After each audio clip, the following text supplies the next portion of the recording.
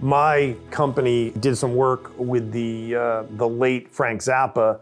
Um, I, I can't interview you and not ask you about the Fillmore East. Can you tell me what uh, what it was like shooting Frank on stage there?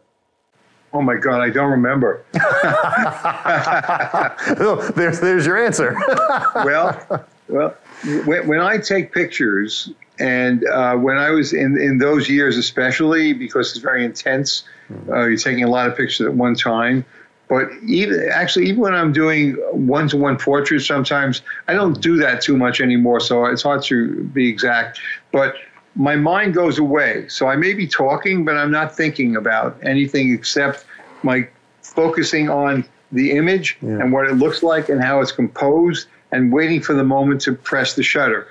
I was only focused on the visual aspect of it, not thinking about the experience. However, when I was photographing, if I didn't like the music, I couldn't photograph. It like stopped me from photographing.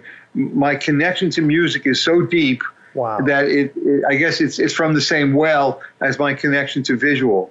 So I remember there's a number of times when I just wasn't interested in taking pictures of bands because I didn't like the music at all. Frank Zappa certainly wasn't one of those bands, that's for sure. You know, uh, so I, I, remember the photograph I have of him. There's one really good photograph where he's giving the finger. Right, right. Look, yeah, um, which is what he's about. That's why normally I wouldn't I, I wouldn't show a photograph where somebody is being aggressive, but he's not being aggressive in my I don't believe he's being aggressive. He was just having a good time doing that. Sure, uh, sure. Yeah, he wasn't probably doing that in in serious malice. It was part of uh, he was expressing something. exactly. There was no malice whatsoever. As a matter of fact, somebody said to me, "Well, sometimes he just used his finger. Maybe he was telling him to turn the sound up a little bit." Yeah, and sometimes so he really would direct. what he was he doing. would do a, a gesture and direct for the band. Yeah. yeah. Yeah, that could be also.